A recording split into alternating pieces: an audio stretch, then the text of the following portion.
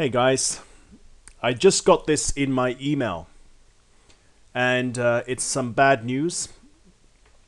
Picnik, which is uh, picnik.com, is going to be closing. It will shut down April the 19th, 2012. So after two years of being with Google, it will close down on this day. It's a very sad moment because this was a program I like to use with my S2 at my school. And it's going to be very sad that after April we will not be able to use this anymore. Now, from now up until this day, we can still use, or we can now use, the premium features.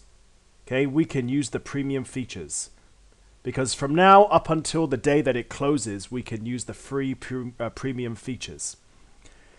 So that uh, is very nice, but it's very sad. I think it's very sad that this program is uh, is going to shut down because I really like this one. In any, in any case, Google is going to be trying to improve their service on Flickr, flickr.com. So we will just have to wait and find out what happens with Flickr. So anyway, I just wanted to tell you that Picnik is going to be closing.